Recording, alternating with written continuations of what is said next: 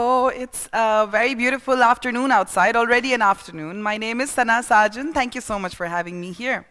Um, let's start with my beautiful couplet. It is by one of a very well-known uh, poet in Urdu. His name is Allama Iqbal. Uh, this is in Farsi.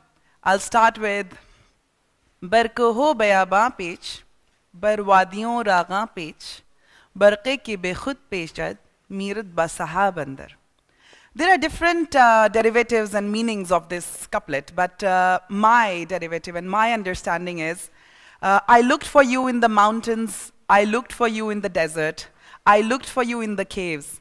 When I looked for you inside me, I found you there.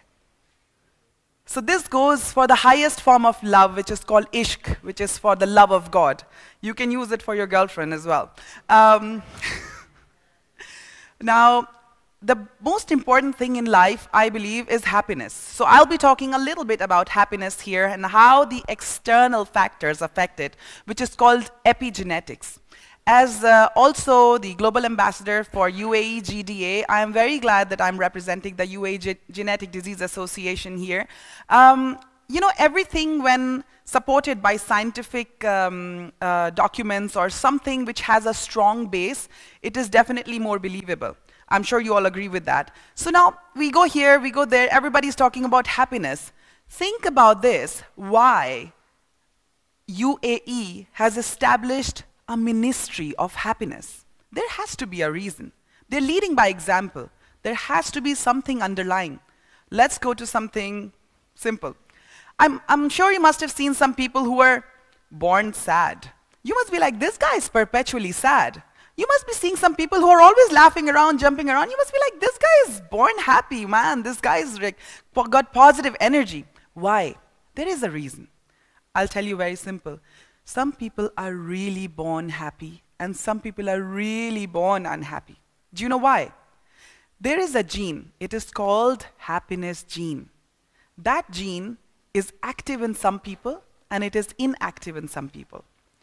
And that gene I'm sorry for the people who are born with inactive gene, but actually I should support with another thing. You do not lose hope. Why? There is something called epigenetics. Epigenetics is something which are external factors which can actually affect your genes for making them dormant, making them quiet, making them active again. So for people who are born with quiet or maybe sleeping happiness gene, they should not lose hope because 60% of the factors are actually responsible for the happiness, which are external. And only 40% of original genetics is responsible for what you were born with. Okay? So there's hope. There's actually 60-40 hope. Yeah? So that's good. Now, bringing to light, maybe I would like to ask people, you know, what is it that brings you happiness? Some people say, hugging my child. Some people say, hmm, maybe a big uh, vanilla and chocolate shake. Okay, maybe some people think about their parents uh, cooking something at home. Yeah, yeah, my mother's um, kosheri is amazing. Okay, so why? Because those things, they have certain elements which scientifically affect us in making us happy. It is true that sweets are one of the things. It is true that some salts in the pickles make us happy. So it's right that those things when we eat make us happy. Now happiness in reality with genetics is attained when you stay in the state of happiness for a little bit longer period of time. Now, how does that happen? Of course, we have to put in an effort. Plus, we add in a certain form of perfumes, we add in a little bit of food, we add in a little bit of good friends, and of course, we add in a little bit of serotonin with the form of exercise. If we combine these external factors, guys, that's 60%, you can actually make that activate your genetics and then you go ahead and be happy in your life. Now, coming to me, uh, a lot of people say that, Sana, you know what, you're just making it up because you're happy and people tell you that you're like really born happy. I actually put in a conscious effort for that. So we know a lot of things theoretically, but what happens that we just pass it because there's so much going on in our lives that who will think about happiness? But the truth is that we are all in the pursuit of happiness. And that's the only thing that we are neglecting. So what is it that we need to think of to be happy? We need to think of the positive side of everything. By Harvard, it is said that there is a 50% decline in heart disease and risks dying, deaths of heart diseases because of a person if that person is optimistic. 50% chance, guys, that's a huge one, okay? And it's supported by Harvard studies.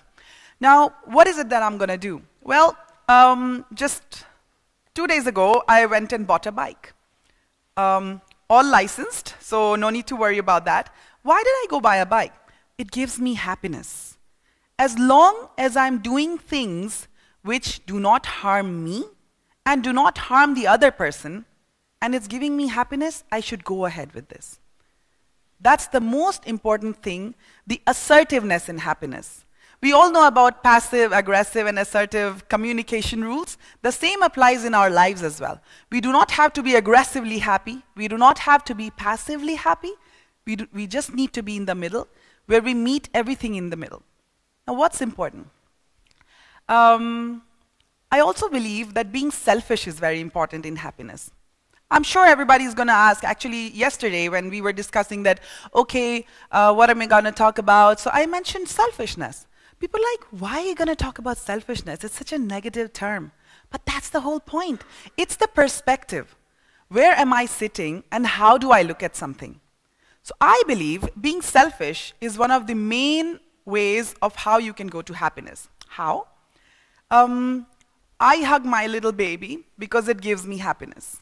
Okay? It's not giving the baby actually happiness, it's for me. I'm just hugging the baby for myself. So that's selfishness. I am loving my husband because that's giving me happiness. Okay, his happiness is just a byproduct. I go do charity because it gives me happiness. So always remember when we are doing something good, it is for our own selfish reasons. Do more good. That's what I prophesize. As the director of the Danube Welfare Center, when people say, oh my God, you're doing so many good things in life, I'm like, yeah, I'm very selfish. it's very simple. So go ahead, do more charity. When you do charity, your happiness quotient goes up. When you are giving to the person, that person's happiness goes up.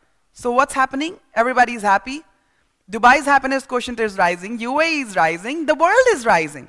So I believe loving people and doing charity is the most selfish feeling on the world. But I say, go ahead and be selfish because it's for our own good. And everybody gets happiness in the end. Um, I really thank everybody over here to be listening to me. I do not have a very long uh, discussion, but um, just very simple things. Add on when you go home, and any external factor which you can put in for happiness, and work on it over 20 days. It's a very, very well-known rule, but work on it for 20 days and just see how it affects you and how perpetually you become happy, and then you will not be envious. And remember, smile, and be selfish. Thank you so much.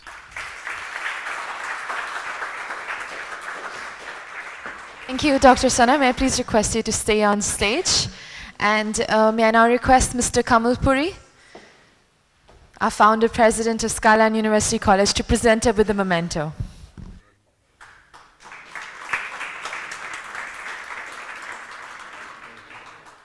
Oh, how wonderful. Thank you.